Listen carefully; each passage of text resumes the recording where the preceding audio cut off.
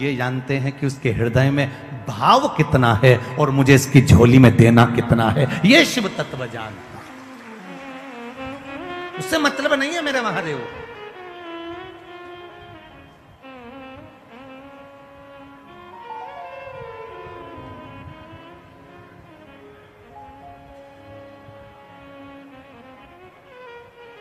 शिव जी को उससे कोई मतलब नहीं। तुम क्या कर रहे हो? अब मलमास प्रार्थना कर रहा है। इसीलिए यहाँ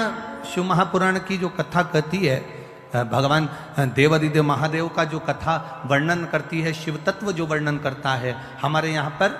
सप्ततिथियाँ, पंचदीप वर्णन किया जा रहा है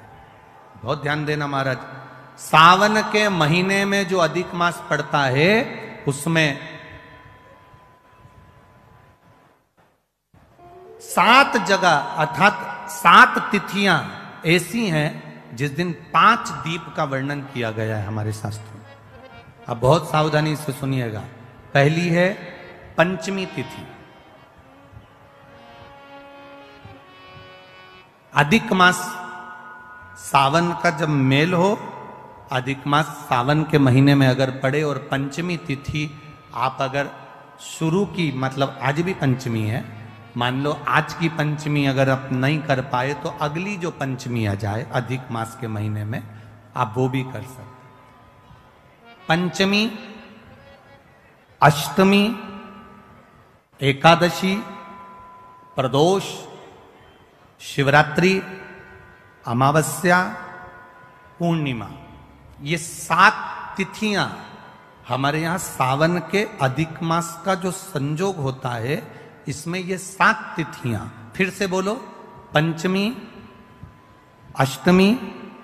एकादशी प्रदोष शिवरात्रि, अमावस्या, पूर्णिमा,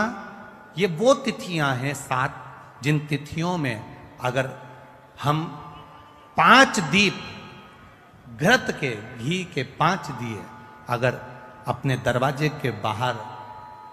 केवल भगवान कि भक्ति के लिए, शिव तत्व की प्राप्ति के लिए। वैसे तो दीप लगाना चाहिए, तुलसी के क्यारे के पास लगा दो, मंदिर में लगा दो, या शिवालय पर लगा दो, या देवालय पर लगा दो, और इस कीचड़ पानी में अगर कहीं ना जा पाओ,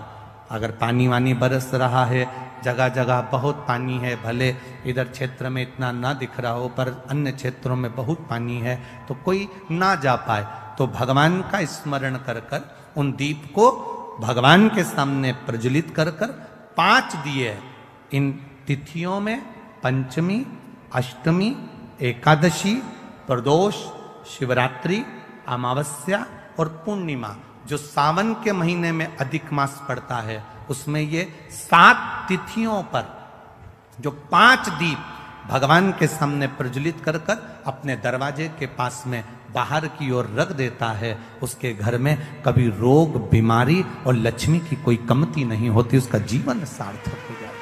पर सावन के महीने में अधिक मास के संजोग पर यह होता है। बाकी के समय पर अधिक मास कोई से भी अगर महीने में आ गया अषाढ़ का आ गया या कोई महीने में कार्तिक का आ गया अधिक मास या कोई अन्य महीने में आ गया तो उसका प्रमाण नहीं है महाराज। सावन के महीने में अगर अधिक मास पड़ रहा तो ये पाँच तिथियाँ। अब कई लोग कहते हैं गुरु जी पंचमी हम दो लें दो पंचमी आएगी, दो एकादशी का वर्णन आ जावे तो हम कौन सी? तो यहाँ एक भी अगर आप कर रहे हो, सात तिथियों में से एक भी अगर ये नहीं कर पाओ तो अगली कर लो, अगली नहीं कर पाओ तो ये स्मरण में रहकर उसको करा। मलमास ने प्रार्थना कर, शिव जी आकर दर्शन सावन का महीना, मलमास हाथ जोड़कर भगवान शंकर से निवेदन कर प्रार्थना।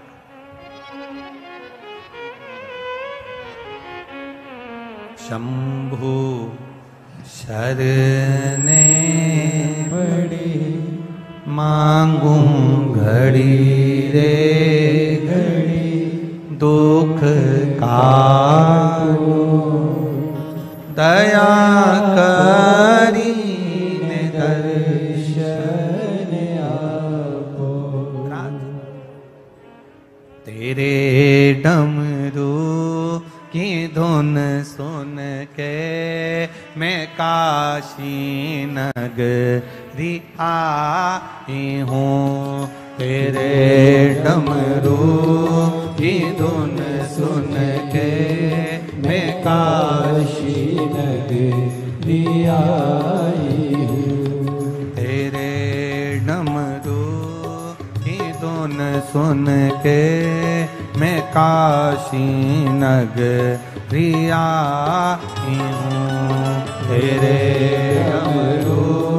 की धुन सुन के